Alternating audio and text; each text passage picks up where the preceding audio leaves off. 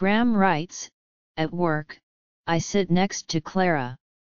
I have allergies, and when I visit her cubicle, I often have to blow my nose.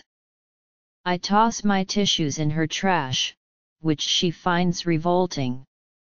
Tissues have no smell, and I think her insistence that I return to my own cubicle to use the trash is unreasonable.